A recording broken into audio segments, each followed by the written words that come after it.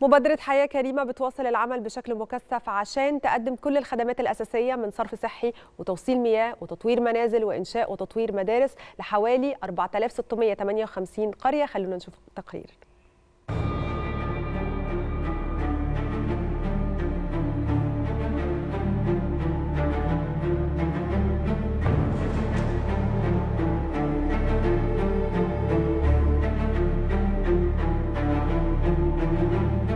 تسعى مبادرة حياة كريمة لتطوير مستوى الخدمات المقدمة للمواطنين بمختلف محافظات الجمهورية وحيث رصدت الحكومة ميزانية كبيرة لتطوير الخدمات الأساسية من صرف صحي وتوصيل مياه وتطوير منازل وإنشاء وتطوير مدارس خلال العام المالي الحالي.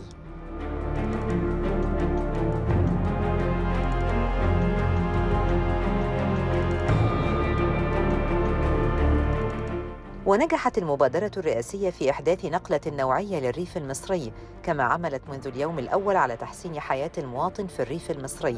واستطاعت تطوير الخدمات الأساسية خلال المرحلة الأولى في 375 قرية والتي بدأت من يوليو 2019 حيث تم التركيز فيها على أفقر القرى.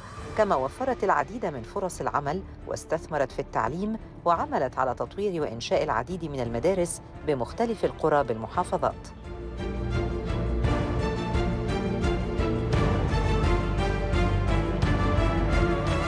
وتهدف مبادرة حياة كريمة إلى تنمية 4658 قرية بإجمالي 175 مركزاً على مستوى محافظات مصر والتي تمثل 57.8%